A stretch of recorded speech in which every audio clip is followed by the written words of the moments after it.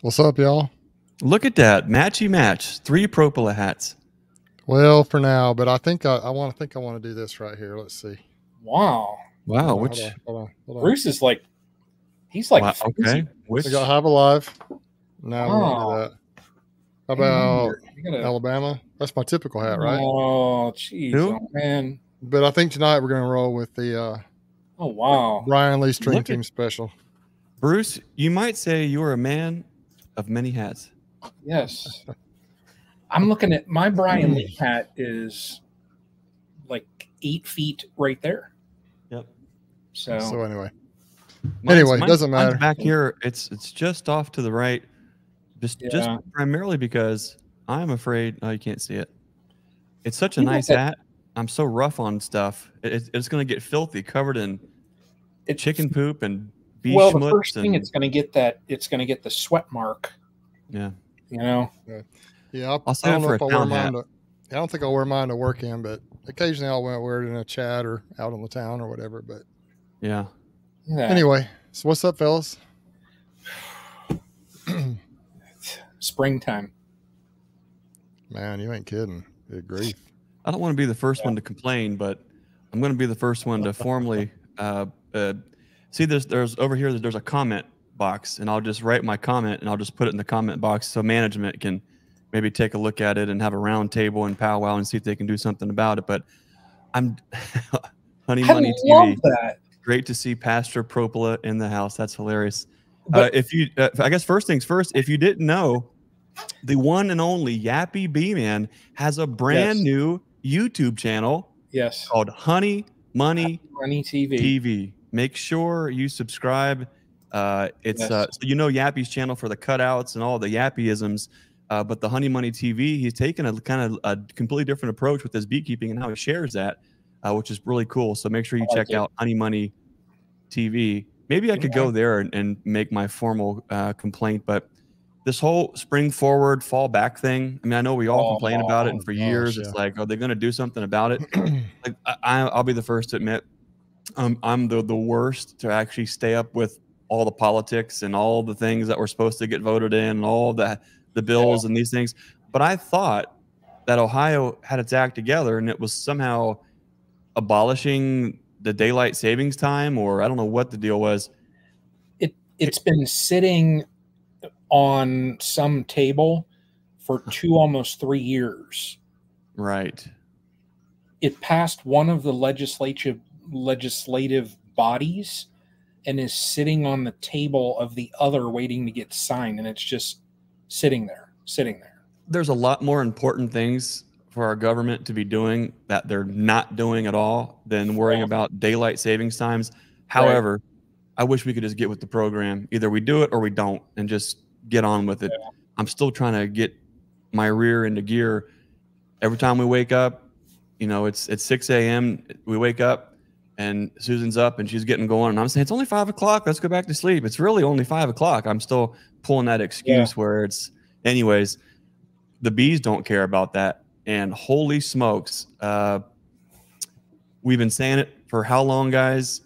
We don't wait around for the Facebook bee uh, gurus. We don't wait around for all of the masters in their trade to tell us, okay, beekeepers, now you can start beekeeping. We read the trees, we read the plants, we read the bees. And if you are in tune with that, Yeah. you'll know spring is way ahead, just like we've been saying it is.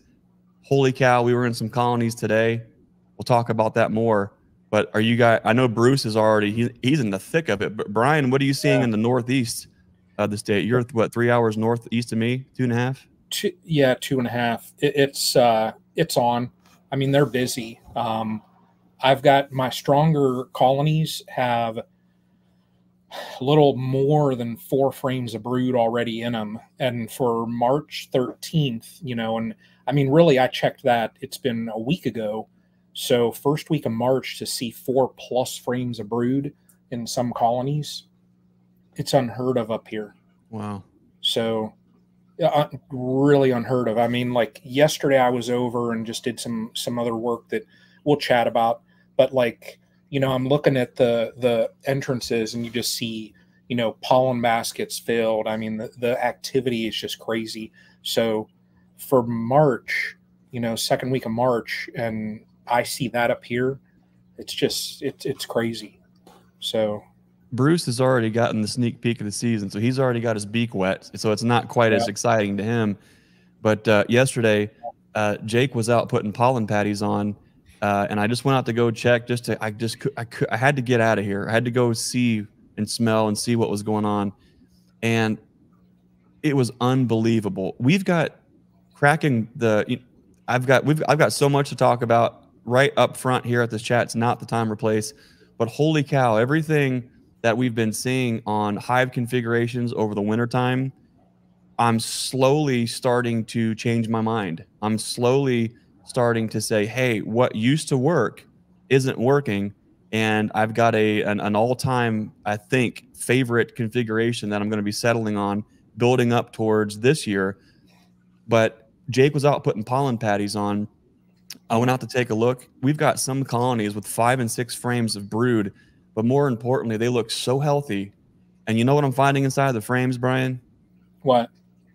Two things blowing my mind. Number one, when we were peeling off the, um, I really like a story and a half colony for wintertime.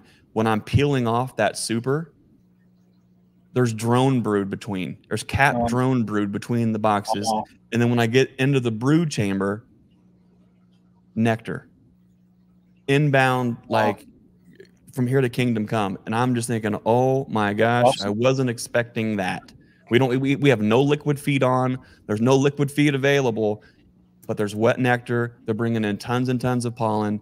The big plant right now is the maple uh, pollen that's coming in, but the uh, the dead nettle nectar that's coming in is unbelievable. So, mm. wow, what a spring! And here we are, guys. We're getting ready to all three meet up in Wisconsin for a few days and uh, and hang out there. Meanwhile, back at the ranch, the bees are just going into okay, here's here we go. So, Bruce, what about you? What's uh? I know we've talked a little bit about the spring, and uh, you've already sprung forward, but uh, how are how are the bees looking uh, in your neck of the woods right now? Well, they're looking really good. It uh, a couple of weeks ago, up in really actually the last couple of weeks, if not about two three weeks, there's a flower down here called the yellow jasmine flower, which you may have heard of, Greg. I don't know if you've heard of it, Brian, or not and uh, it is actually deadly to bees. it's not good for the bees. And this year we've had a bumper crop of yellow jasmine, mm. and so a lot of people have had some struggles. Um, the bees were really doing well, and they're still doing good, but you can just tell um, it, they just don't look as healthy. It doesn't like kill the bees, but it just it kind of slows them down. Like they bring in the nectar. It's one of these flowers where I, I believe, if I'm not mistaken, that if they if there's something else to get, they don't mess with it. But if it's the only thing out there, they bring it in, type of a thing. And so, um, particularly at the Honey Hill Farm out here, where I manage the colonies for for a friend of mine, um, the, I, they were looking really, really good, probably as good as they ever have. Just a few weeks ago, went out there, couldn't really get good access to them a couple of weeks ago. There were plenty of bees in the colonies, but I didn't, I could, couldn't get to him. They, he's having some stuff going on out there, and I couldn't get to him. Uh, good enough to get my truck back in there and really go through them. So I walked back and put some uh, have a lot of fun on them and stuff, but I couldn't really go through the colonies, but because they're they're feisty and they need smoke, and I didn't have the access to do that that day. So, but I went back out there last weekend, and there are yellow jasmine blooms laying on top of the colonies. He's got a, a big, I think it may be like a vine, it's some kind of a bush or vine, but it was up in the trees, and it was just the flowers were dripping mm. down on the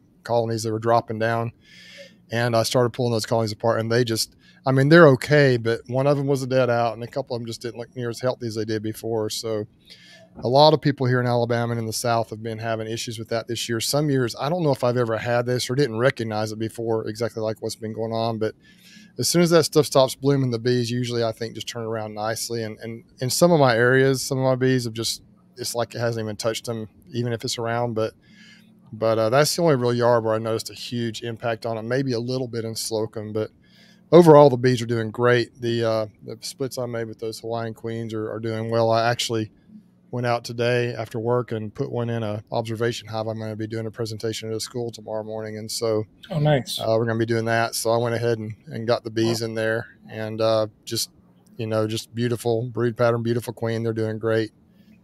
And uh, we made uh, Ray Raymond uh, Nolan is on here lots of times on the. You'll see him in the comments. He came out last Friday, and we broke out. We didn't break out 57 splits, but we created spots for 57 queen cells, if that makes sense. So we had a busy, busy day Friday, and I dropped 57 cells from a local uh, a queen cell producer, not far from here, about an hour south of here, hour and a half south of here. So I think it's about an hour south of here and uh, so we dropped those cells. I dropped them on Saturday, but as soon as we got done on Friday afternoon, it started dripping rain, dropping, and then we had just an absolute torrential downpour, like in the early morning hours. I mean, just a absolute gully washer type of rain. And um, fortunately, we got those splits done before that gully wash. That would have been awful trying to get all that done in the rain, but it it this you know we were blessed from above, I guess, because we were able to get it done and uh, Saturday drop those cells in. So really, those hives don't need to be messed with for two to three weeks. And so this timing of this conference is perfect. And I'm going to go out tomorrow to the the splits I made with the Hawaiian Queens, and I, my plan is to go ahead and feed them and maybe add a second box on there, let them start working up in there, and then they'll be set for a couple of weeks. And um, that's kind of where I'm at. And then first to mid, early to mid April, we can start stacking honey supers. So we're right there at it. Wow. I'm going to see if I can pull a uh, an ace out of my sleeve because uh, Bruce, you kind of mentioned something that uh, is is kind of a big deal. Uh, I'm going to see if I can get him to jump on either uh, via a phone call or maybe we can give him a link and get him to jump on here. But but yellow jasmine's a very interesting conundrum uh, for a lot of beekeepers in certain parts of the country. And before I say too much, I'll I'll hold that that conversation for this guest if he can. Um, if you can join us. But uh, was he was he recently on on yeah. social media posting yep. some things? Yep. Okay, he's there. About. Okay, let me see if I can give me a second. I'm gonna see if I can patch him in here. Let's see. Bruce, where uh, do you feel like you're ahead of where you were last year? Oh well, last year. Remember, last year was awful with the. We just, just yeah, definitely.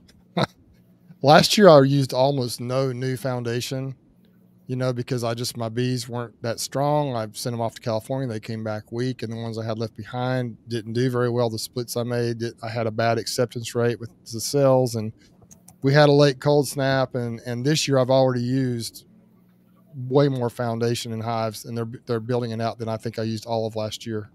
Wow. Yeah. Plus, Good. I've been using a lot of uh, drawn out comb out from dead outs, and so they are really. Um, it's been fun. And I've got in in a Slocomb for sure. All those splits I made with Lynn on my Hives for Heroes, a mm. Minty back about three or four weeks ago when we did the Hawaiian Queens. Um, those splits we pulled those from. Most of them could be split again right now. They basically just filled those colonies back up. There's a strong, and we could just split them all again. I've got some boxes in Slocomb that are four deep and they're just what? packed with bees. Yep. So I'm just I don't know what to do with all these. It's like kind of like I don't know what to do with all these bees right now. So so um, you're you're probably crazy. Like, you know, this is the first year that you haven't done pollination in about four in about three or four years. Yeah. And I, am I'm, I'm loving it though because I can be in control of the bees and they're going to be strong. And no, I'm, I'm I'm pretty confident, barring any unforeseen circumstances. Of course, like Greg says, there are no absolutes but I feel pretty good that we, are going to have a really nice, nice year this year. Um, wow. So that's kind of what what I'm hoping to. well, I just hope to have a good year, and I, I, may just break those. You know, I could take those quadruple deeps, and I haven't been down deep in them in a in since I made those splits about three or four weeks ago. Uh, but if they if they filled the colonies up like I think they have, I could pull two three splits out of all of them. You know, if I wanted to easily. And so, but I don't. I don't really know that I don't. The the big issue is queens you know, getting queens. I can get queen cells, but when you get a queen cell, you're looking at a, it really sets the colonies back. You know, it's, it's yeah. several weeks before they build up. I mean, I want to capture this honey flow. And so that's kind of where I'm at. If I could get mated queens again, I would maybe try some more of those. But, wow.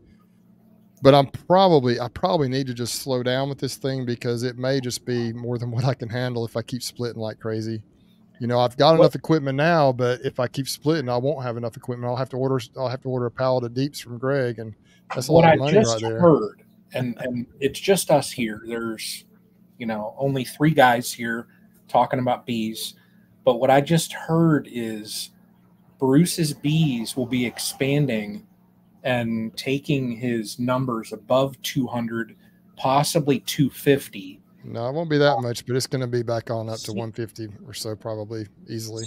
Seeing that I'm going to be sitting in the car with both of you for a couple hours, uh, if there's any inside, like you know, insider trading going on, mm. I'm going to let everybody know and say, Look at that. Bruce says he's not expanding, but I do know that there's going to be a delivery of boxes. And why does he need this number of boxes if he's not expanding? I got a lot of rotting boxes. That's one reason. Bruce, whether you need one box, whether you need one box or one semi load, we can we can help you out there. But I'm, I'm looking forward to spending uh, a road trip, uh, getting on the road with you guys. Uh, I just found out though, however, I'm lactose intolerant. Uh, so if I uh, consume any kind of dairy, you talk about watch out, roll the windows down, kind of a scenario. But you know what can really help with my uh, with my oh. gut situation?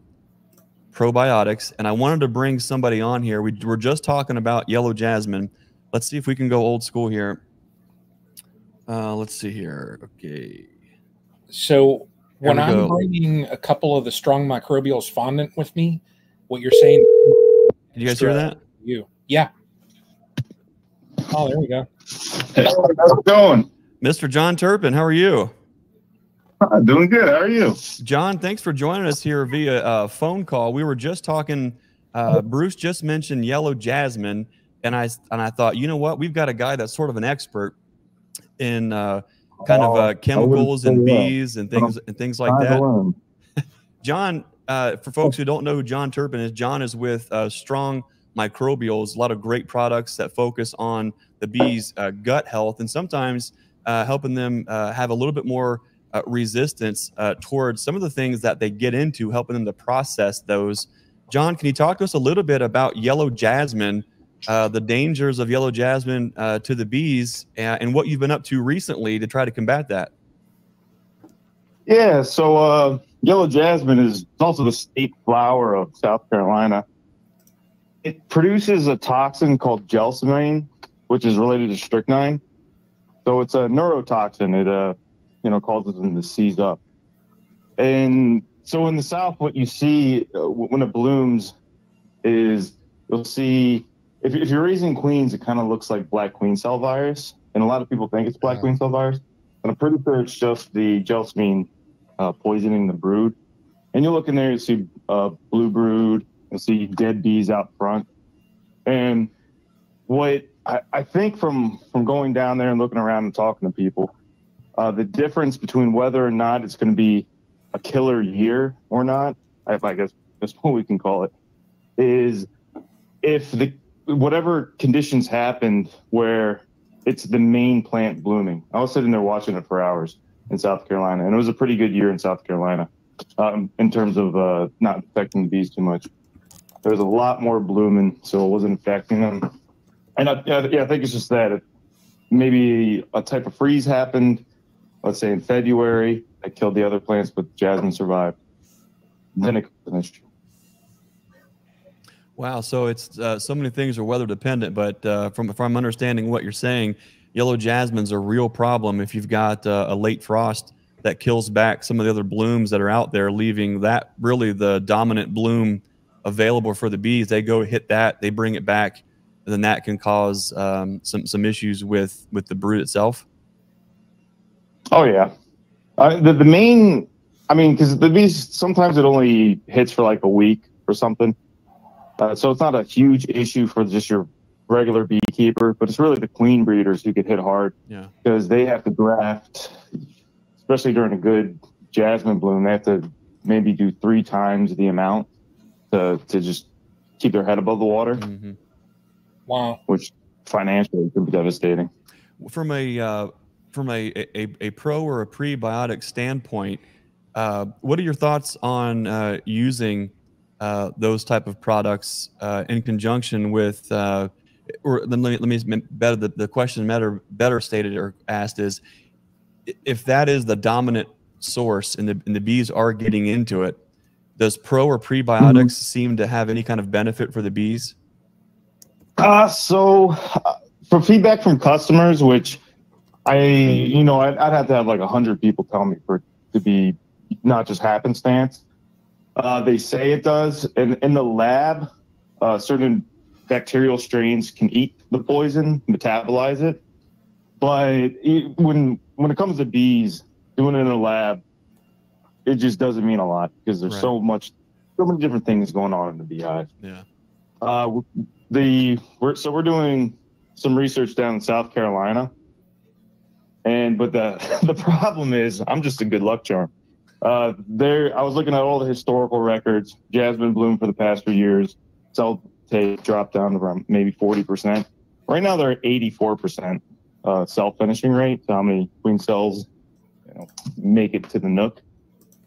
So now it's a good luck charm. But we're gonna keep going. I took a whole bunch back, and I'm gonna extract the poison from it, and I'm gonna I'm gonna poison some bees and see what we can do to help. See, that's why we call you Mr. Wizard. Uh, John, thanks for joining us here tonight. Uh, you're the guy to talk to when it comes to all the stuff that bees can get into uh, and uh, what uh, Strong Microbials uh, is doing to help combat that. So, John, we appreciate you. We're going to have to have you back on for a full interview just to kind of get an update on all things Strong Microbials. But it's that time of year for us. You know, it's it is a product that we have and carry in the shop, and I think is a really important one uh, to put on early on in the year uh, it, it's it's just one of those things that we've learned that when we do this, uh, we have a certain result. And keeping these bees, their gut biome as healthy as possible, especially early in the year, um, makes a huge difference. So, John, thanks for spending a little time here on No Notice, uh, talking to us a little bit about uh, yellow jasmine. We'll have you back on a little bit later, John. All right, sounds good, Greg. We'll see you, John. Thanks. Yeah, you good one. See you. Bye. One of the coolest things there? about beekeeping is that that bees are the conduit to the people. You get to meet so many great Yeah. folks that you call friends that you can just call up and say, "Hey, what's the deal with this? What's going on?" So, um, Yeah. John, in my opinion, he's he's a really humble dude, uh, but he is on the leading cutting edge of so much of that research uh, on what is affecting bees and what they're trying to do about it. So it's really cool to kind of have a phone a friend, uh, John Turpin, to call with uh, with those kind of things. So who knew yellow jasmine? Who, there there are things out there that could potentially be uh, a problem for your bees. Yeah, like I say, I don't. Most of my bees have plowed right through it. Um, I think it just they just look a little bit sick, but of course I wasn't trying to raise queens. I will tell you this is interesting though. You talk about queens because, uh, like I say, we dropped. I dropped actually a few more than fifty-seven cells this past weekend, but I had ordered hundred cells for myself and some friends down here uh, for this past weekend, and I didn't use them all, but I was gonna. Other guys wanted to jump on the on the order with me, and when I the the uh, lady at Sleeping Bear down there went ahead and made the grafts for me, and uh, she's down in Chipley, Florida. And she went ahead and made. She said she made some extra grafts and everything. And when when I texted her to make sure uh, to confirm that we were going to get the hundred cells, she called me back. She said, "Look, I think it's this yellow jasmine, this jasmine that we got going on." Um, she said because I only had sixty two that sixty two that took, so Mm. I I needed Wow. hundred and I got sixty two. Uh, well, anyway, when I got there, she actually had a few extras. I guess I don't know why she had she had like 18 extras for some reason. Maybe I can't remember the exact reason, but actually ended up with a little more than I wanted. I just, I, I gave a few of those away, and we got that squared away. Got them in hives. I used a few of them, and but she did say that she thought it was the jasmine causing that, and uh, I think it's actually is it called. I mean, we call it yellow jasmine. It might be called. Is it Carolina jasmine? It's got another name that people call it. I'm not sure, but um, but that's what she called it, and so what what John says makes sense if he says it, it really affects the queens, the queen rearing more than anything because um, that she experienced that with trying to uh, trying to make some queen cells for me. And she that's her theory. Now nobody knows for sure. She she's sold thousands and thousands and thousands of queen cells to um, commercial beekeepers all in this area and, and commercial beekeepers, hobbyists, and sideliners alike. She's that's that's kind of their specialty in this area this time of year. So, um, but anyway, it could be, couldn't. Maybe it's kind of early in the year. It's a little bit iffy right now, anyway. But she she did produce quite a few really nice ones, but didn't get the full graft that she expected. Wow. I tell you what, you know what I love? I love that we're talking about uh, active beekeeping season things and not talking about winter and getting you know prepped for spring. It's it's Yeah. here, ready or not, and it's uh wow, we're off to the races. So No. Brian, what's new in your neck of the woods? Oh man. You know, I'm I got some work done in the last probably oh gosh, it's probably been within the last two weeks. Um, let me see if I can pull up a picture. I actually got some work done that I have needed to get done for a little while. I got that there, the fabric down. I got everything all cleaned up. I got the stands kind of situated. If there was any that were a little off kilter, it's a technical term there, off kilter. Mm-hmm. Um, I repositioned them and now they're all sitting on the fabric that way. I had one last year actually that because of weight, it sunk down into the mud. Mm-hmm. We had a lot of, you know, it, it was just really wet. And that colony, I don't know how much um, weight it had on it, but it actually sunk down. The one back leg sunk down in the ground like six inches. So now with the fabric, I got everything all mowed and got a lot of stuff cleaned up. Um, so that's set. Um, I spent yesterday, oh gosh, probably three hours cleaning frames and boxes. So if there was any like, you know, comb that was built off the bottom of the frames, like, you know, that extra propolis that you'll get and all that kind of stuff, I spent hours cleaning up frames and boxes just to get stuff ready because I know the season's going to be here very, very fast. Um, so I was already going through doing an inventory. Um, you know, what do I, if I need anything, you know, because I'm, I'm going to be uh, down around somebody's shop here. so if I need anything, I figure, you know, I might as well pick it up. So, but yeah, it's just, uh, it, it's going to be this early to be working bees. I never would have thought first week of March, you know, that someone would say, Hey, first week of March, you're going to be cracking boxes and moving some frames around and everything like that.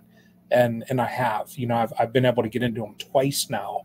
So, um, it, it's just, uh, extremely, I can just, just say this is odd, you know, um, Bruce, thank you much, buddy. But, you know, I, I do have two of my colonies are kind of smaller. Um, there's one of them that is like a classic, and, and it's it's one of your daughters, um, a daughter off of one of yours. Uh, that cluster is probably Nice. that size, and that's it. And a week ago, when we had the snow, um, that was the only one that I was worried about because they were so small. I thought, please just get through this one day of cold, and then we've got you know 60 70 degree weather here. And when i was over there yesterday i went and i just i cracked the um, i still have the insulated inner covers on and i cracked it and i i probably couldn't have caught her on camera. It was that quick.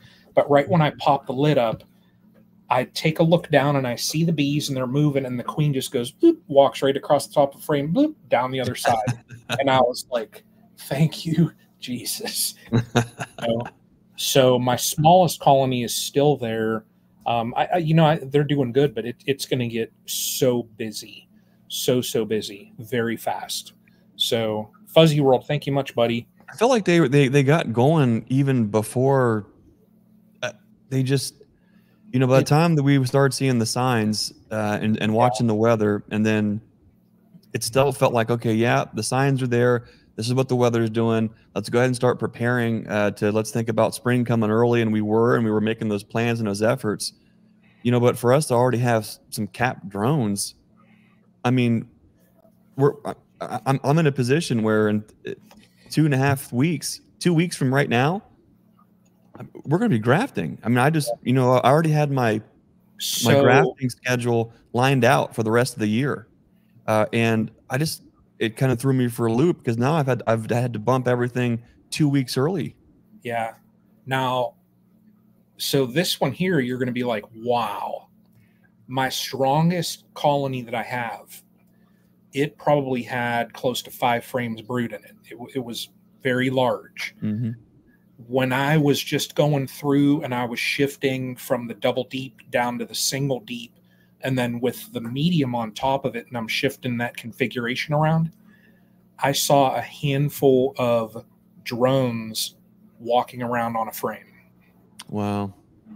And this was last week. Yeah. So they would have been laid up in February. So to have drone brood in February,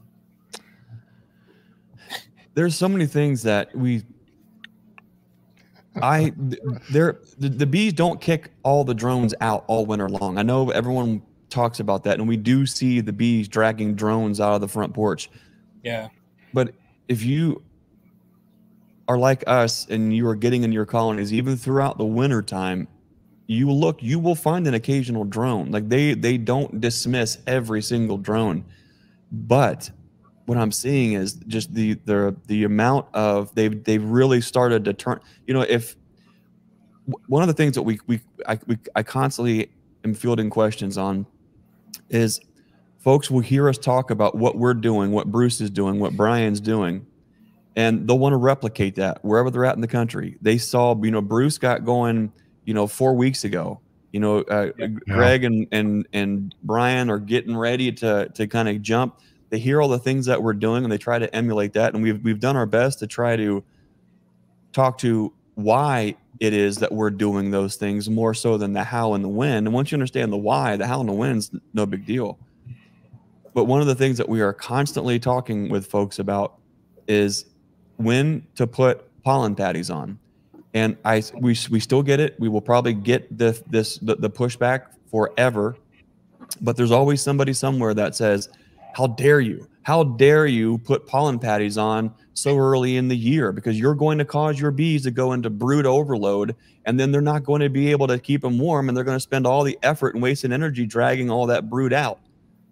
Yes, that you? can possibly happen, but that also happens has to happen in my opinion. What I've seen here with at least our line of bees is you've got to have real protein coming in. You've got to have real carbohydrates coming in, and you have to have real sunlight days coming in. When those things align, when those three things align, then the bees move forward.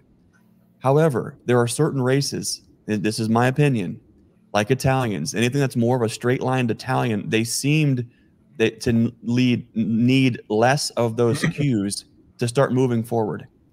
But we've worked hard to not to not to necessarily weed the Italian out, but to minimize that impact. Where we want a little bit more of a frugal nature. Where yes, they're building up, but what I'm doing while we are feeding pollen patties, and we have been feeding pollen patties, is we want these bees. It's like their engine is warmed up, they're idled, and they're at that tree, they're at that light, ready for it to hit green, and then they mash the pedal, and then they go, and it's full speed ahead.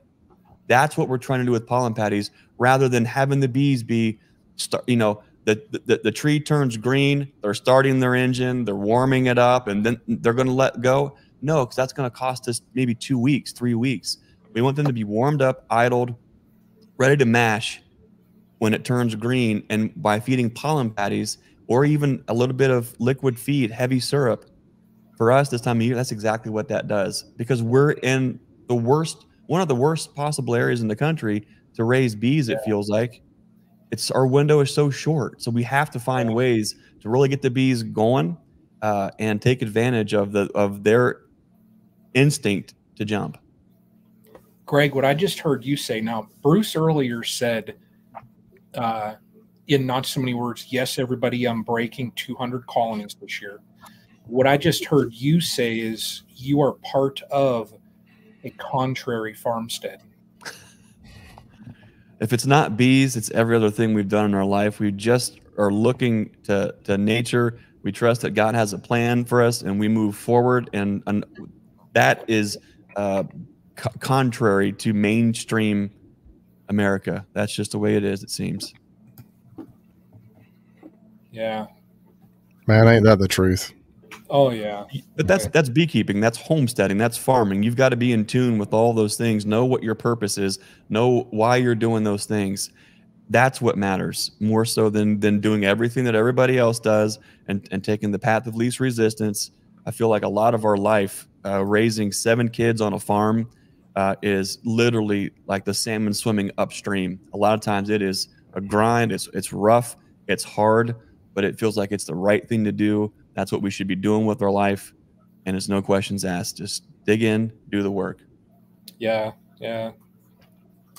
Bruce, we have a guest. All right, Greg, this is going to be fun. Let's bring her on, man. Oh boy, should I click it? Bru- Yeah, let's click it. Greg, It's going to be click it. Should we tease it? Should we should we tease the guest first? Like who who is the mystery guest? Maybe they can leave in the comments below. We should, let, let's leave some hints. Let's Here, watch see. this. Watch this. Can I'll, someone I'll give I'll give you a hint. She someone lit, deliver I said our she. guest to us? Way to go. Bruce. Come on. this guest lives within 40 miles of me. That's one. Bruce, can you deliver her mm-hmm. to us? Did you see there? See? Can I deliver? Can What it- she be delivered to us? This one that went right over Bruce's head. Me too. did. Me, me too, Brian. But see, I, I, you know, Cayman makes fun of me. You know, Cayman, you got to be careful with jokes with Cayman because sometimes they go right over his head.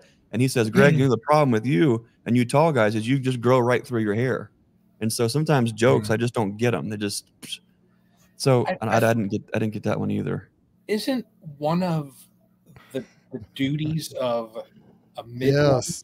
Her don't last they yeah. Oh. deliver? midwife. Deliver. I see what you did, All right, Brian. there we you go. are well. everybody's. It looks like everybody's had some really good guests on here. So let's bring her on, Brian. I wanted to share an experience My we had God. last week. It's a pretty cool experience. Looking for my mouse cursor. Well, if it's if it ain't old Lisa, hey Y'all are Lisa. killing me. That wa- that literally, I thought that was a good like. I can't there. believe I didn't get And they're now like, they're looking at me like, "What are you talking about?" That was a Ah, good one. That are a was really good. Now I really feel like I've made it to the big time. I'm on the stream team. wow. Well, welcome, Lisa. It's good to have you on here. It's good to see you guys. Well, I put a I put a message in the private chat a few minutes ago, and I asked Brian if you know you guys if you thought we could bring Lisa. Lisa and I had a really kind of a it was a interesting experience, but a really fun experience and just a really neat experience last week. And uh, Greg, you were involved a little bit um, in this experience, actually, believe it or not. So, uh, anyway, Lisa, um, we got down. Lisa, why don't you tell them what we were doing, what the plan was? You don't want me to go into the sordid details, do you? no, no, don't go into sort of details. Well, it's kind of what was the basic. I'll let you kind of tell the stories Oh, from what the had a basic great theme was. time. We had a great time. I met Bruce in um, Slocomb at one of his yards down there, and um, we were able to transfer some of the bees over that um, I think he and Lynn had split a couple of weeks before into a um, pro. Uh, it was an Endura hive, and um, present it to Lynn, and uh, that was just such a nice experience. So uh, tell tell everyone how you know Lynn. Uh, what kind of what the whole story is behind that. So I well, I got into the um, Hives for Heroes National Beekeeping chat one night, and um, I noticed she was on there. I'd never met Lynn. As a matter of fact, the other night was the first night I'd met her face to face. But um, it was kind of odd because she was looking for a mentor, and she said that she was in Northwest Florida. So I asked her if um, if I said, well, how how close? Or I didn't want to ask her exactly where she was. You know, you just don't want to reveal those things online. And she said that she was close to the Alabama state line. And I said, well, I know someone in Dothan um, that is a mentor for Hives for Heroes. And would you, you know, would you want me to help connect you? So I got up with Bruce, I think, first, and um, got back with Lynn, and then I think I sent. I don't remember if I sent an email to Charlie McMaster. Well, you- I'm not sure. I don't remember exactly how it came about, but I let met Lynn on that chat, and um, kind of got her and Bruce connected a little bit so they could start talking. Well, one reason I wanted to bring Lisa on is because she really facilitated this uh, mentorship. I I signed up for Hives for Heroes la- not this this year, but last year at, at the con- I came to this conference, and then um didn't have a mentee, hadn't heard from anybody. Uh, there was one person they tried to match me with, and that didn't work out. So, so um, Yeah, you know I so, love you. Um, and so, um, basically, Lisa's like, "Well, I've got someone, you know, not far from here." That, and so it, Lisa kind of greased the skids, made it happen. But the experience was really fun. We met down there, and there's a video. I'm working on the video just to let you know, for anyone who ended up watching it, and we've got it's just the four of us on here, right? So, little secret, I I got you know my plan was to show up at the bee yard, to have Lynn uh, Lisa there for Lynn to show up at a certain time. I thought we'd have time before dark to like go through some of those splits that she had helped me make, and then we would pick a hive out. I mainly just wanted to show up and show her how the hives were doing, and I wasn't even going to tell her initially that she had this this hive we're going to put the bees in for her to take home. However, it did not go like that at all. So first of all, Lisa and I got there about 5, 15, 5.30, and it was already getting kind of dark. It was the, it was before the time change. And uh, Lynn was running a little bit behind. She got there um, in the area. By the time she got to town, I think it basically was dark. So after a while, you know, we just we had opened up the box and we're like, we got to put these bees in this box. And so we put the bees in the box, and uh, then so when you watch the video, I, it it is just a very disjointed video, but it is it is it's kind of a fun video. So Lisa's out there. I left her with my phone because my thoughts were when I went to get Lynn, who was about five, I thought was about five minutes away. Um, I could just bring her back up into the bee yard, and Lisa would be standing there videoing this. So I left my phone with Lisa. Well, while I was gone trying to find Lynn, Lynn tried to call my phone, and Lisa, I don't know if she couldn't unlock it or what, but she didn't answer it. So Lynn left. She didn't know what was going on because I didn't answer, and I was driving around looking for her. Anyway, it's quite the story. Finally, I came I came rolling back up in there. I'm driving all around looking for her. Came rolling back up in the bee yard. I said, "Did Lynn try to call?" And she said, "Yes." And so I called Lynn, and she came back. We met, and we were able to deliver her uh, one of Greg's beautiful uh, Endura Hive, eight frame Endura Hives for her to take home. And Lynn is super, extremely grateful and excited about it. She is an American hero. And uh, I'm going to tell you this, and I, I cut a lot of this out because there was some dead time, but the the funniest part of the video is when Lisa is at the bee yard for about 12 minutes on her own in the Oh, you did. in my bee yard. So that's going to be on there. Some of that's going to be on there. So it's almost like it's almost like the Blair Witch Project out there. It was dark and creepy, and it was pretty funny. Oh my gosh! Put that on the So- members only. Put that, put that to the members No, only. no. Anyway, it, it's I cut a lot of it out, a lot of the dead time, but Lisa's definitely going to be a star during the middle part of that video. So I just want to let, bring Lisa on and and uh, share a couple minutes, a couple of experiences. But really, once again, Greg, you mentioned the bees are the conduit to the people. And my goodness, I mean, none of us would have known each other. We wouldn't have known Lisa. Lisa, I, it's just the whole thing is just a, there is something behind this. It's, a- it's a greater power than what we what we have created. So. Um, anyway, I appreciate you meeting me out there, Lisa, and that that was really a great thing you did My by kind of getting that getting that uh, mentorship kind of pushed through per se. Is Lynn is a little bit different because she has had bees before. She's not a brand new beekeeper that's never had them. She has a little bit of equipment. She's actually had already gotten a hive or two. Uh, but part of my my understanding and part of what I wanted to do was, you know, I think is go ahead and help her out with a colony. And I felt like what cool, more cool way to do it than to those splits her and her husband came out and helped me do a couple weeks before. You know, those strong splits in the weird, nasty weather they helped me do, um, and to let her come back and actually present one of those colonies to her. And what better hive to put it in than an Endura hive? That's from awesome. Greg Burns at Nature's Image Farm. And, and Greg, I, you know, I did purchase the colonies from Greg, but it, it was worth it to me. It was a, it's just, it was, Lisa described the, the feeling that Lynn had when the shock, I'm like when she kind of figured out what was going on, explain kind of how she, how she reacted.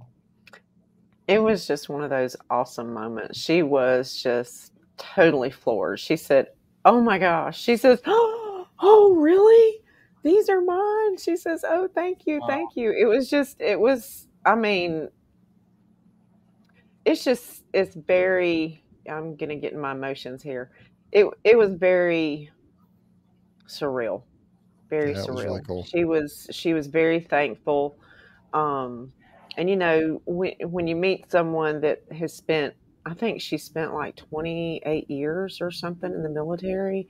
I mean, that's that was a big part of her life, and it's just amazing to see see people. You know, we appreciate them, Yeah, and that's and that's just what we want to show them that we appreciate them. Yeah. And she was Absolutely. just she was in awe, absolute awe. Yeah, and I, just to let you know too, something else that happened. I, I had my DJI mics on, and Lisa had one on. I had one on. We were kind of walking through what we are going to do, and of course, mine somehow got turned off. So So as I'm editing this thing, I'm trying to figure out now how to get my volume. You can hear me, but just I'm kind of, it's, you know, I'm kind of a stickler. I'm not quite as intense about as Greg is, but I'm pretty intense about my audio on my videos. I want people to hear it. So if you watch the video and you think, my gosh, this guy has no idea what he's doing with his audio, just understand I know that and I realize that, but I couldn't leave those parts out. And I've actually, I'm going to put some uh, subtitles down there to kind of be able to see, hear it better. But just if you watch the video, just understand you need to watch the whole thing because if you just watch the first 30 seconds, you're not going to get any clue of it's got some, it's got some disjointed but very cool stuff in the video. I think you'll enjoy it. But Lisa, I wanted to invite you on, and uh, we appreciate you coming on tonight and sharing a few minutes with us about Well, your thank experience. you. I appreciate it. It's been my Bruce, do you- pleasure. Do you have any- Do you have an unedited? And I hate to interrupt, but I just want to check and see. Do you have the unedited 12 minute segment? well, I do. Because I mean, we're going to be in the car Friday. Oh yeah, yeah. We'll have to listen And- to it. I mean, That's we could funny. just watch it and watch it. I mean, Yeah. why We not? could we could turn it in black and white. It was kind of black and white anyway because it's dark. Yeah, it's 'cause it was dark. Do you guys? What's the? uh I- I'm so bad. There, there used to be a. uh When I was a kid, I remember uh, when you were flipping through the channels, there was there was some kind of show where it was like, uh, how do you explain this? You, it was like watching the silhouette of like a robot and a guy and Oh, something yeah. else watching a movie. Oh, oh, um, I know what you're talking about. It was that robot, and it was Oh, like this- jeez. Mystery Science Something Theater. Mystery Science Or 2000 something. or something. We should do that. It, it'd be the stream team silhouette watching this video and all the commentary and the knuckle-headed freaking frack that goes back and forth. Wouldn't that be fun? Brian yeah, we could, could, we do could have a lot of fun with it. We could have a lot of fun with it. Well, it sounds like you guys had a lot We- of fun. Uh, Yeah. Lynn, you know, special shout out to Lynn. We want to thank you uh, for your service. For us, it's an honor to be able to be a play a small That's part it, in that Mystery Science. Mystery Science Theater. Okay, yeah, cool. Lynn, oh, nice. Yeah, Yeah, Brian yeah. Zavada. Okay, everybody knows. Okay, cool. It, it's for us. It's it's uh it's special to, to have a, just a small part in that with the EnduraHive wax dip line of equipment. You know, it's when you give somebody that you're giving somebody literally a lifetime box. It's not going to need painted. It's going to last forever. So that's a special thing that you guys have done for Lynn and say, hey, here's some equipment you don't have to worry about. No paint, no rot, no hassle. Put it out there. Enjoy your bees. Uh, enjoy the beauty of the box. So I, I appreciate you guys including us in that storyline and doing something special. Bruce, I'm going to send you a couple uh, uh, freebies as a way to say thanks to Lynn for her service. I'll send those to you. You can get them to Lynn, but uh, we'll get something else shipped out for us to say thanks. Okay, thank you. And uh, Lisa, uh, since you're on here, if you could talk just a minute about, and I know Brian, I kind of co-opted your stream tonight, but take just a couple minutes and talk about off of me. maybe for those who are in the who are in the comments who may not know what Hives for Heroes is, kind of what it is. I we actually did a live stream a few months back, um, and uh, we actually had Steve uh, Jimenez on, who was the founder of Hives for Heroes, and that's kind of where I got super fired up about it. And I was already excited about it, but uh, we had him on, and if you if you get a chance to scroll back through the live videos on my channel, we happened to do on my channel that night. The stream team, it was just a great video, and Steve talked about you know what it's really all about. Um, also, is it Ken Lebowitz over in Andalusia? Lisa Ken Ken is the Alabama rep, and he is just a great guy Yes. and uh, just honestly you know it's about saving lives literally saving lives because um, there's something about these bugs in a box that has an effect on people and uh, you know i think that ken and steve and, and all of us who are a part of this just it's it's a really super important thing to do and uh, there have i'm sure i'm certain there have been lives saved because of the honeybee and because of hives for heroes. So lisa take just a minute if you could and maybe from your Sure. perspective explain what hives for heroes is and and any final thoughts that you might have. Well, I have to say, uh, the the first time um, I met Steve at uh, the Alabama Beekeeping Conference, Fall Conference, a few years back, and just talking to him, I immediately fell in love with Hives for Heroes. Um, it was something I knew that I wanted to do. It's it's listening to his story is extremely eye opening and the main reason that I wanted to get into it is because I have a son-in-law who is um, an Iraqi war veteran, and he suffers from PTSD, and he wanted to get into beekeeping, which is the main reason I'm here. But um, Hives for Heroes uh, reaches out to people who are not only former military or veterans or even active military, but also first responders, um, firemen, paramedics, police officers, nurses, um, healthcare workers in general. And they offer a program setting up a mentor, an experienced beekeeper with two plus years experience or more with a mentee. And the mentee is usually that person who has applied online at hivesforheroes.com. Uh, you can apply for mentorship and menteeship on that website. And Charlie McMaster, and I believe his name is Troy. Um, they are two of the key people also in the organization. Charlie works really hard at matching mentors up with mentees. Um, he likes for them to be within a 30 mile radius, but sometimes it's not completely possible. We do need more mentors. Um, Alabama, in our area, we are really low on mentors. So uh, Ken has been, Ken Leibowitz, who is our state director, has been very active at trying to recruit mentors for the program. But it's a it's an awesome program. They give scholarships out for um, beekeeping classes. Um, they just do all kinds of great stuff, and it, I think it's something that has really grown to um, much with much more velocity than what Steve even ever imagined. So it's really amazing to sit down and talk with Steve and also to Ken and and to see where this is going. It's also starting to branch out into other countries now.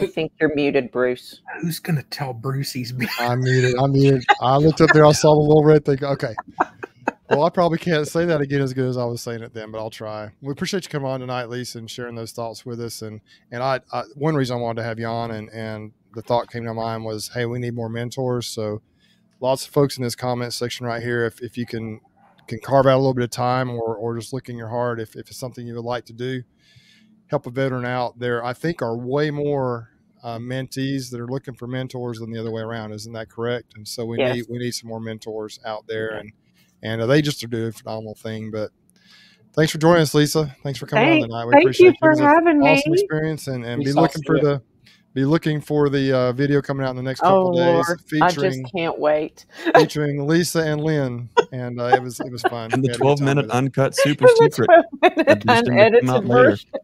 If you guys haven't already, make sure you guys go over and subscribe to the Grammy's Beekeeping and Homesteading YouTube channel. She's way better to look at than we are. She's funnier, and she's probably doing a better job keeping her bees. So if you want to learn some things, go over check out her her YouTube channel. Subscribe. Oh. Grammy's beekeeping and homesteading. Thanks for joining us tonight, Thank Lisa. Thank you. Thank you, everybody. Thanks, Y'all have a good night. I'll stay in the chat. See you later.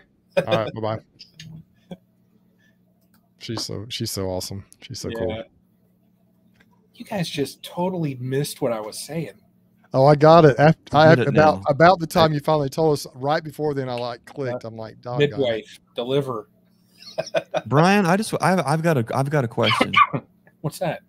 Does it hurt?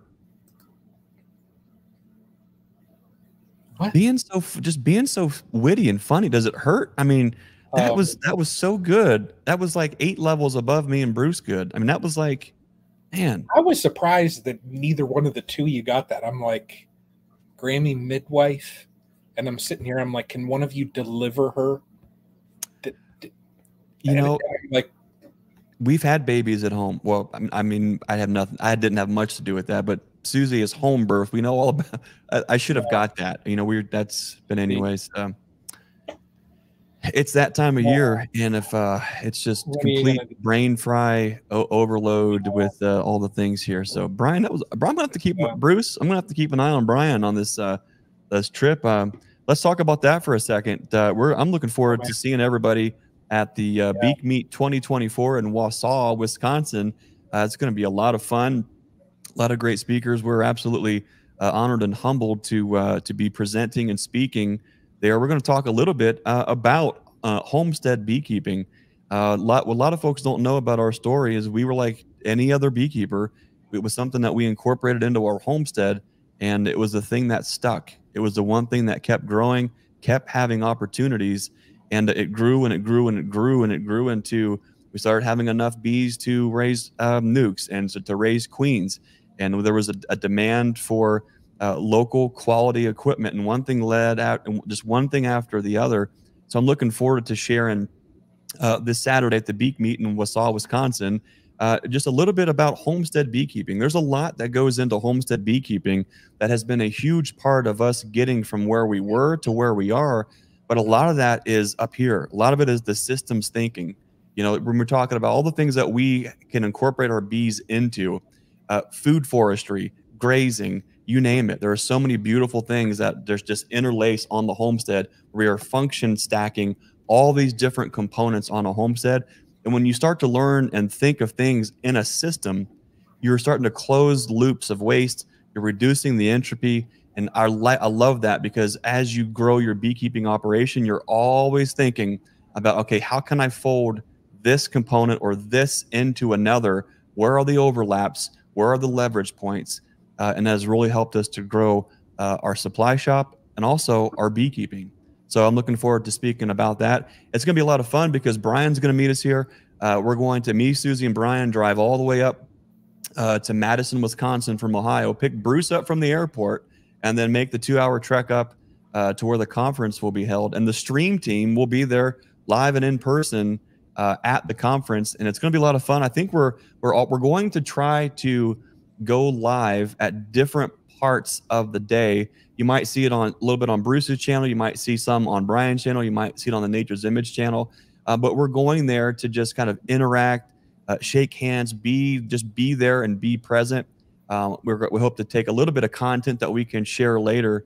Uh, but how fun is that going to be? Where it's you know a, the stream team uh, is traveling all the way to Wisconsin to go meet uh, to be with folks. If you're listening to the stream uh, tonight uh, leave in the comments. You can leave them now, but especially leave them in the comments once this publishes to YouTube. Let us know if you're going to be there. It'd be awesome to get everybody in one spot and kind of get a photo stream team and all the folks uh, who listen to the chats. Uh, that'd be really cool. Bruce, what do you what do you think about traveling all the way to Wisconsin uh, to make an appearance uh, as the stream team?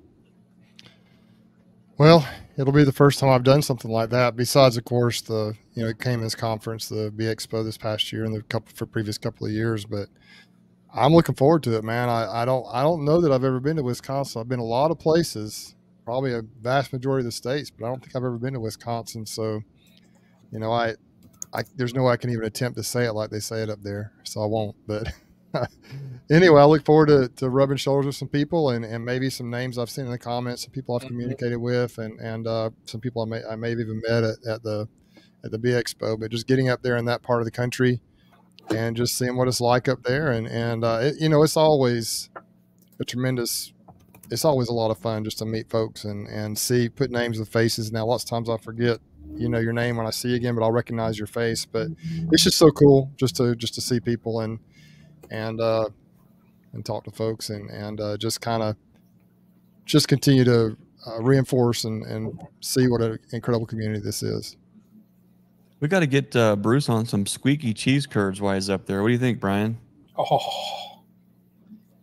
Do they even have cheese curds in Alabama? And if they do, are they squeaky? They probably do, but when we're in Utah, there's a big dairy up in Logan, Utah, oh, and, yeah. and, my wife, she always that's one of the places she likes to go if we if we get a chance up there to Logan, Utah, and get and she always gets the cheese curds and she loves them. I'm not. I mean, I like them okay, but but I don't crave them or anything like that. But yeah, they're they're they're pretty good. I, I like them okay. I love those things, man. Brian, are you excited to uh, get into a vehicle and travel 10 and a half hours each way with your lactose intolerant friend Greg. Well, what I heard, what was it, two weeks ago, the last time we were on, what I heard uh, come out of your wife's mouth was can the two of you both um, do nothing but snack on burritos? Bean burritos. So I um yeah, I heard that. So I'm planning on tomorrow. You know, I need to go and just pick up some some road snacks.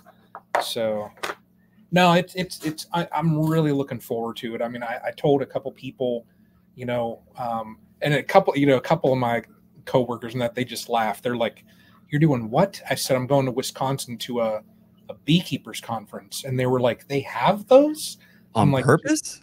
What? Yeah, but you know, and then like my one other buddy, um, I was I was texting yesterday, and he was like, he said, for you to have a hobby that you're that involved with, and that you go to like other states, he was like, I I only dream of having a hobby that like I'm that invested in, you know.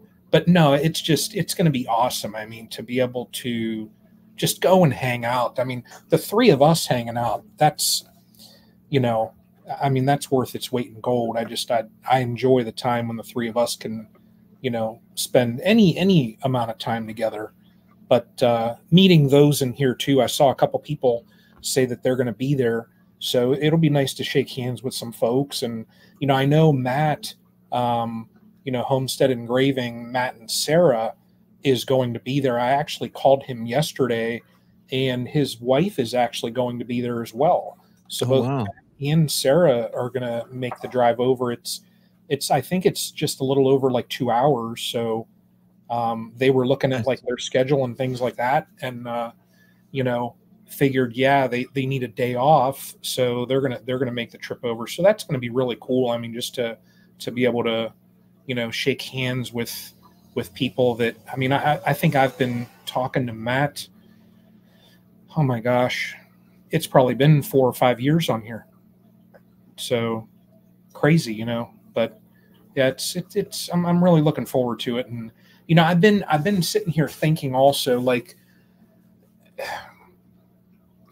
do I bring my GoPro and all that, you know, um, and do like I did with uh, you know the conference in January, and I probably will. I'm I just the more and more I think about it, it's like you know I should, you know. So just because you know, I know that this is they're they're kind of getting getting things kickstarted. So I want to put forth as much effort as what I possibly can just to get the word out there, you know, for the beak me. So, but it's it's just it's going to be loads of fun and us getting able to hang out and go around and live stream and that it's just yeah, that's awesome. So it's a lot it's gonna be fun to share that because they're doing such a cool thing you know Yeah. they're when- when folks see a need and they dig in and they just say okay hey how can we figure this out? Let's let's yeah, work together. Let's figure this thing out. Let's dig in. And what you find is there are a lot of folks who want to support those uh, type of movements. Uh, michael yankee his wife and then the entire crew there uh, in wisconsin they just they've done so much great work in getting this thing started. Um, and as you can imagine when when you put yourself out there and you start doing those kind of things you know there are challenges that you are going to have and um, they just keep digging in working through and it's going to be awesome because there's going to be so many great speakers there. Uh, David Peck will be there speaking. Kamon Reynolds, of course, will be there speaking. Uh, Ian Steppler and Randy Oliver will be there. They're going to zoom in. Uh, there's a lot more great um, uh, folks speaking there. It's a big deal because I think what a lot, a lot of state conferences and state associations are finally starting to get with it, uh, and they're shaking off the old rusty dusty approach and they're starting to realize that if we want people to show up and actually be here and support these conferences uh, and these meetings, then we need to understand what it is that they're consuming. Where are they going to learn? You know, it, it's important for us to have all levels of research and all level, all different types of of, of uh, mediums to share this experience and share this information. But what they're finding is that a lot of folks are more interested in watching the practical everyday beekeeper and how they're going through making decisions, what they're doing, and and why they're basing those decisions on, than to just absolutely than to only learn from um, a research or a doctorate uh, in a certain part or a certain field of beekeeping. That's an important thing to consider. YouTube has 100% changed the face of education, of conferences, of expos, because if you want people to be there, you've got to understand who your target audience is. And when the target audience is is absorbing more YouTube videos than books and everything else, you have to know that. You have to understand that. and the states and the associations that are bringing in those type of speakers, bringing in vendors that people actually want to buy things from, those are the ones that are making real and lasting change in this industry because now we can work together, we can collaborate, we can get this information out there in such a powerful and impactful way that hasn't been done uh, in the rusty, dusty ways of old. It's exciting when states like Wisconsin is stepping up, uh, West Virginia is stepping up. You there are so many states popping up, taking that approach, and they're exploding with growth. It's a big deal. Mhm. I'm really excited to be there speaking. I'm and even more excited that the stream team is going to be there, meeting with folks, talking with folks, hearing about their beekeeping. Hope to be able to go live a few times, get folks uh, into the conversation. I'm pumped up, as you can tell. I'm really excited about it. I think we're gonna have a lot of fun. we saw we saw firsthand in the state of Ohio last year as far as conferences. You know, the state Mm. conference that they were going to hold, they end up canceling it because they couldn't get enough people signed up that were going to attend the conference. Yeah. And you know, so you have the old mindset as far as how to um, put on one of these conferences, and it's like, well, that's that's not what people want, you know. And the conferences, like was down in West Virginia, this one here, I mean, they're going about it in the right way, the way that people want, and you know, it shows. I mean, they boom. I mean, their first year doing it, and uh, I mean, they. I, I think what they had to close off ticket sales. I think they they're pretty close. They're you know, it, it's it's just it's going to be a packed out place. So it, it's nice. It's it's nice seeing that. So That's um, where yeah, it's I'm- at. That is Yeah. where it's at. And the more folks get with that, uh, Missouri is another great uh, example. Uh, Yeah. Tom and his wife, uh, the Tom. Stossmans, all the folks there uh, in Missouri, same thing. They're bringing in uh, the beekeepers and the education and those experiences Mhm. that people are actually absorbing, consuming, and using as solid points of reference with their beekeeping. That's a big Mhm. deal. I'm, I'm don't get me started. It's it's we're an hour and ten minutes. We can't be on long tonight. Um, but you just guys just got me fired up. I'm gonna, I'm gonna step off the pulpit. Pastor Propola is gonna, I'm gonna step back off that just a little bit there. Pastor Propola. I like that. That's I, I I've got us a, a, a about. uh, Let's all join in giving Steve and Jane uh, a big uh, congratulations. They were they kicked off the beekeeping supply season here at the shop by getting married right here at Nature's Image Farm in the, in the shop. What an honor it was uh, to join those two rascals. But uh, how cool is that? Uh, beekeepers are just some of the most specialist folks uh, that I ever did meet. So Hey guys, can you hear me? Yeah. Hello. loud and clear. All right, you want a little uh, preview of the video? Oh my gosh, let's see it. Oh, Can you see Come on, it? put them on the big screen, Brian. How do you do that? hang on. Yeah. Uh, hopefully you can hear it. I'm gonna try this. Okay. Turn turn it Tell to us. the whole width of the. Turn your phone Well- like this, and it should adjust. There it goes. All right. Yeah. I'm gonna try to see if I can get this. That is like Blair Witch. I'm telling you, man. Here we go. If you can hear it, I hope you can hear it. Oh no, that's not it. Hear it? Uh, for real, for real, this is getting creepy. Y'all hear that? Hey, hold on. hold on. We got another section right here. Here we go. Here. Listen. There we go.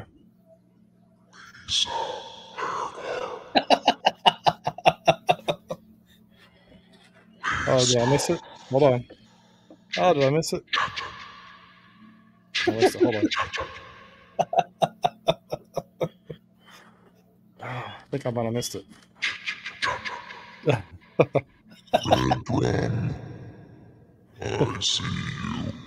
Well, I missed this. one. anyway, she says, I've got a hive and a smoker. Or I've got a, yeah, something like that. A hive tool and a smoker, she says. But This, I don't know. this I could be a part. great video. This, this really, we could really turn this into something. You should have that in your intro. Just start it out, and all you hear is, "I've got a hive tool and a smoker." Here she is right here. Wait, she is so funny, y'all. You can hear the crickets and everything, though, right? The frogs. The peepers. Yeah, Ah, I missed it. I don't know. Anyway, it's pretty wild. she went on for like 12 minutes. A hive tool and a smoker, and I'm not afraid to use it. Oh, classic Well, video intro. Oh my! Suspenseful music, awesome. flickering lights, sound effects in the background. Anyway, she's so she's so cool. That was fun. That's awesome. That was just like two of the little things she said. She's like out in the woods for like 12 minutes by herself like that, just trying to.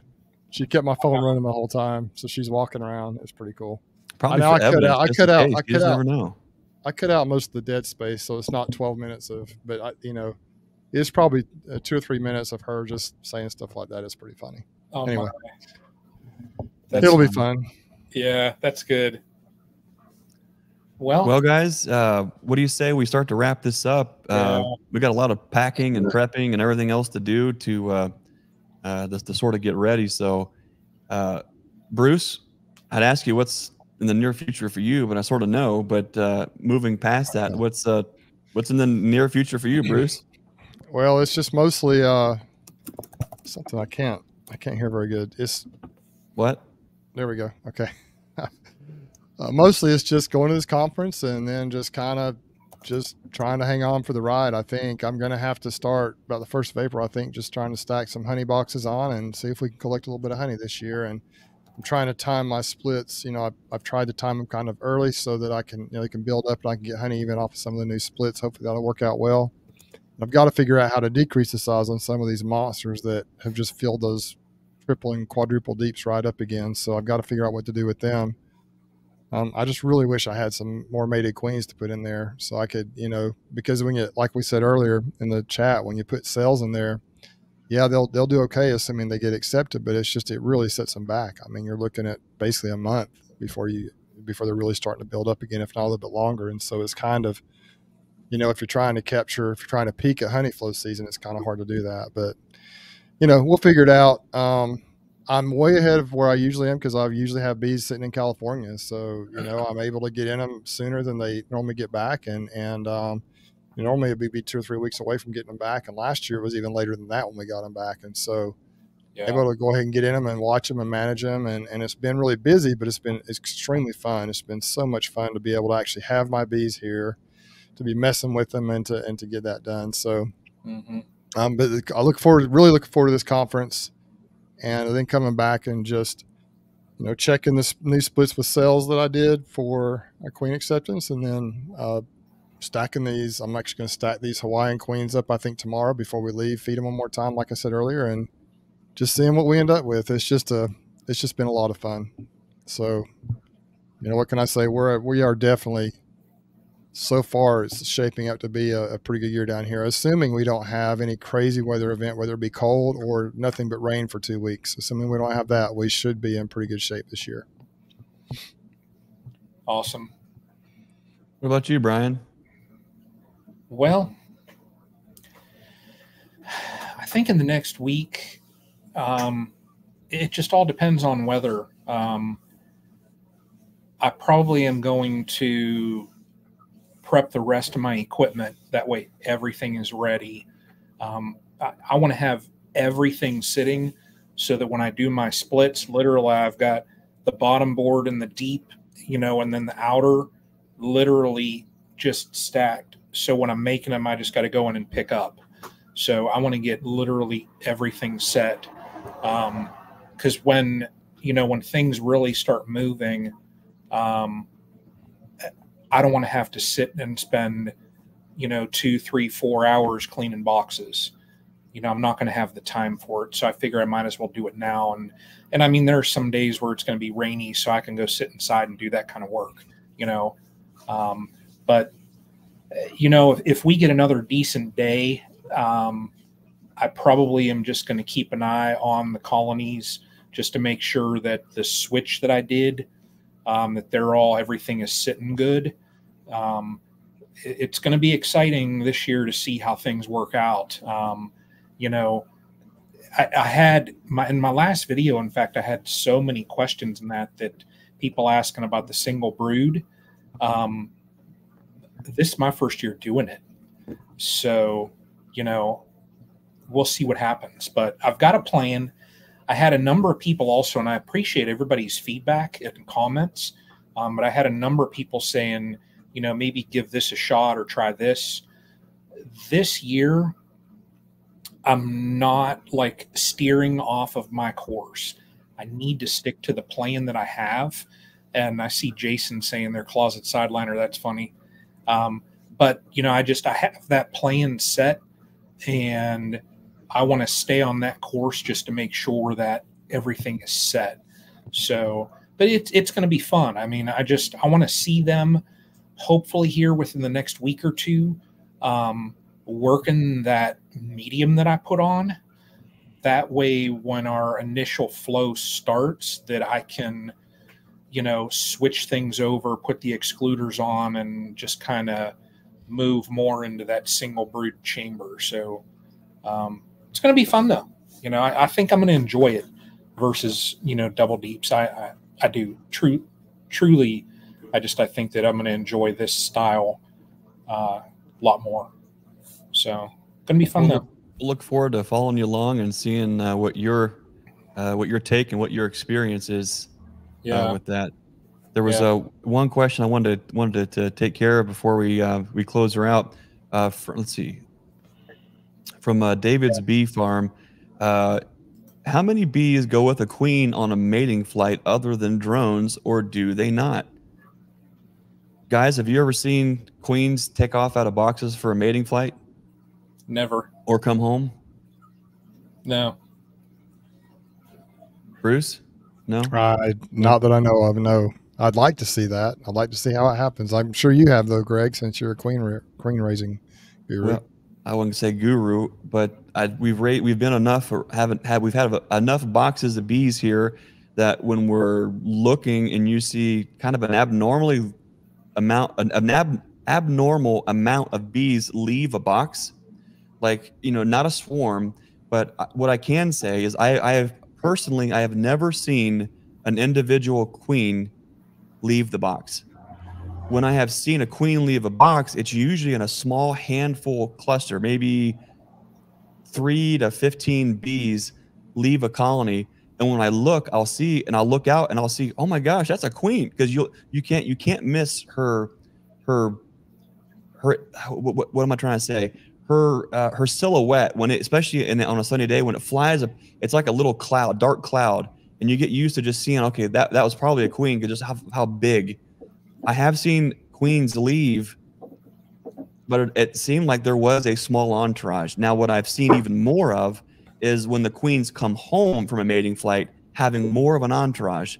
And the reason I say that is when you make a lot of splits uh, or you have a lot of mating nucs, you are typically, uh, for the most part, you have a fairly good understanding of how many bees are in that box to take care of the queen cell, keep the keep things kind of moving forward.